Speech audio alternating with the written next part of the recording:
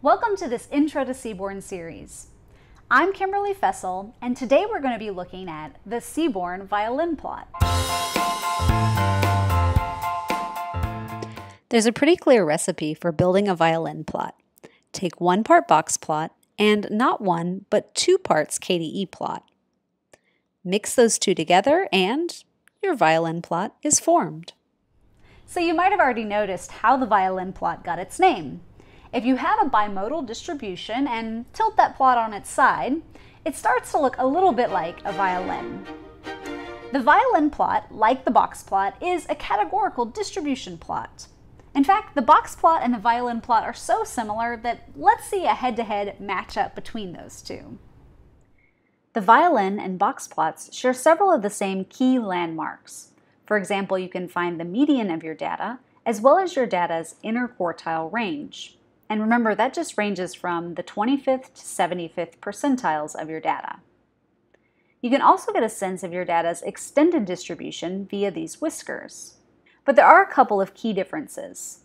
The box plot alerts you to potential outliers in your data, whereas the violin plot features a kernel density estimation for your data's probability density function. Now that we know the violin plot basics, let's take a look at some code. To demo this Seaborn code, I'm going to start off by importing the PyPlot and Seaborn libraries, as well as aliasing both of those. I'll load some data in from the Seaborn library. These data have to do with cars, so I'm just dropping a couple of null values and taking a look at the head of my data frame. I'm going to set my Seaborn style to be white grid, and then I'm just going to do one more bit of data cleaning. If I take a look at the number of cylinders each car has, um, most cars either have four, six, or eight cylinders, so I'm actually going to filter down to just those, those even numbered cylinders, in order to make my visuals look a little bit cleaner, but just for demonstration purposes. Now that my data is clean, I'm going to build a violin plot by referencing the Seaborn library and then just calling up a violin plot. And now I just pass whatever data I'm interested in. So in this case, I'm going to look at the car's engine displacement. Now this is a pandas series, but of course you could pass a list or a NumPy array as well. That would work too. And now we have our first basic Seaborn violin plot. The real beauty behind the Seaborn violin plot, though, comes when we're splitting our data up into multiple different categories. So let's go ahead and try that as well. For this plot, I'm going to pass in uh, both an x and y value, and here I'm just passing in one value that is categorical, or the cylinders, and the other value, the y value, is going to be that original um, numeric value, the displacement. So you'll see that uh, Seaborn has split our data up into each of these three different cylinder types and then done a violin plot for the displacement of each group. Just to show you one alternative way to do this, um, if instead of passing in the series directly, you'd like to reference the entire data frame, you could do that as well. And now my x and y values are just the string uh, column names. That will produce the exact same plot. But there's one more thing you can do uh, for these basic Seaborn violin plots, and that is reference yet another category but we pass that through to the hue parameter here. So I'm going to pass in the origin of each of these cars as well. So now you'll see that for 4, 6, and 8 cylinders, we've actually split our data one more time, and we see a different color for each of the different uh, car origins. So far the code looks pretty similar to what I demoed for you in my recent box plot video, but there are a couple of special properties for violin plots. One thing you might have already noticed is that the violin plot is symmetric. Now, this looks nice for aesthetic purposes, but it doesn't actually convey any additional information. Let's take a look at a property that you can use to break that symmetry and show off more data. So let's take a look at a couple of those violin plot options. Um, I'm going to change my data set just a little bit. Um, for the next couple of examples, I'm only going to be looking at cars from Japan and Europe. So the first thing I want to show you is something called split. Um, as you'll see in this plot, we actually have the four and six cylinders, and then we have uh, both Japan and Europe for each of those. Um, but one thing we can do to actually break the symmetry of those violin plots is to put both Japan and Europe on the same violin. And that we're going to use this property called split equals true. So now you'll see our violins got a little bit more wonky. On the left-hand side, we have the four cylinders from Japan, and then the right-hand side are the four cylinders from Europe. So this is one way that you can leverage a little bit more information in each violin, and we actually have the hue there to help us know uh, which cars came from which origin. One more thing I should definitely mention is that in order to use this split property, you actually must have exactly two categories for the hue uh, parameter here. So we can only have two um, here, Japan and Europe, uh, in order to be able to leverage the split equals true. So that's why I filtered uh, the USA cars out, uh, is so that I could leverage this split equals true. So one thing I kind of see here in the six cylinders, I see that there is a little bit of a difference between Europe and Japan, but I can't quite tell with the box plot. So one thing you might want to do is change, um, instead of having a box inside of these violins, you can actually change how the inner part of the violin looks.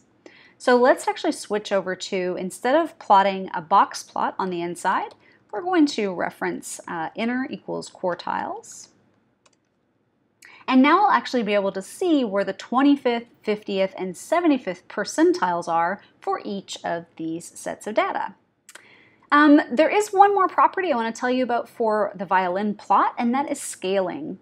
So currently, the scaling for each of these violins is actually going to be uh, proportional to the area. So each um, each violin has the exact same uh, amount of area, and so that means that this orange area, if I integrated that, would be exactly equal to this blue area.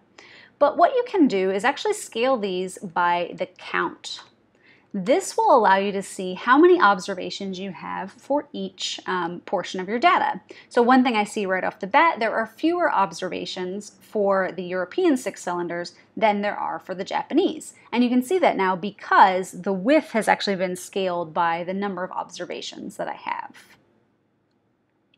But there's one more kind of sort of misleading thing that's happening in this figure. Uh, we have scaled by count, but what violin plot is actually doing, it's first splitting our data into four and six cylinders, then scaling by count. If you would like to turn that off, you can absolutely do that as well. So now let's say um, scale by hue equals false. And now what we're seeing is actually there were just way more cars with four cylinders produced by both uh, regions than there were for this, the six cylinders. And actually we can verify that with a little bit of pandas. Uh, so here I'm just splitting up by the number of cylinders and then counting the number uh, for each origin. We see that we only have six and four observations for the six cylinders, whereas we have more than 60 for each uh, for the four cylinders. So using that scaling um, by the count and selecting scale by hue equals false, we were able to see that actually this six cylinder group was much smaller than the four cylinder group, and that's all with one violin plot. Awesome. Let's take a look at a couple more styling options that are similar to those available to you in a box plot or a KDE plot. With the violin plot, you have several of the same styling options as you have with the box plot.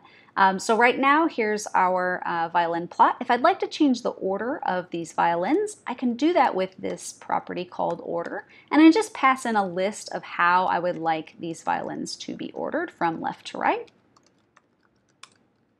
Okay, and so now I've been able to switch to have Japan on the left and then USA on the right. So you can do this pretty easily. You don't need to rearrange your data at all. You can do the ordering uh, through the violin plot.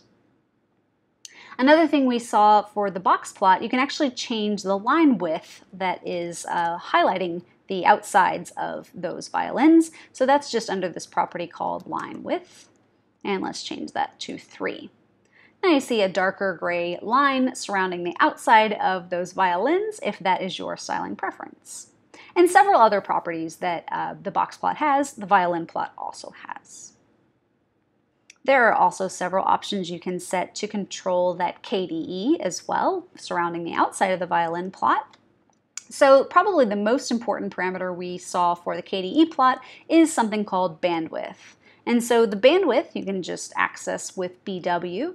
Right about now we are setting at a bandwidth of about 0.4. That's being set automatically with that Scott approximation, which is the default for the bandwidth.